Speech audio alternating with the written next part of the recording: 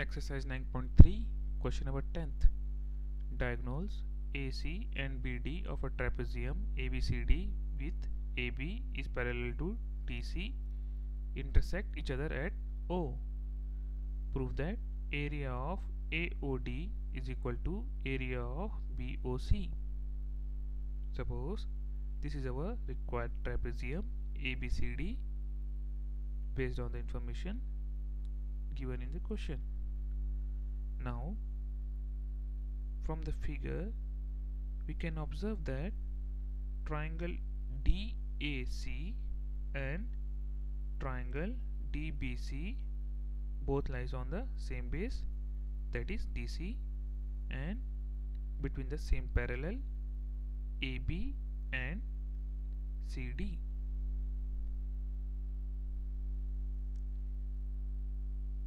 Triangle DAC and triangle DBC lies on same base.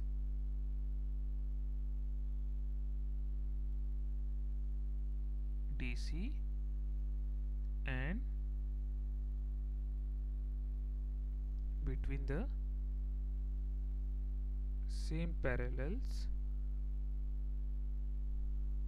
AB and CD. Therefore, area of triangle DAC is equal to area of triangle DBC. Now, subtracting area of triangle DOC on both sides which will give area of triangle DAC minus area of triangle DOC is equal to area of triangle DBC minus area of triangle DOC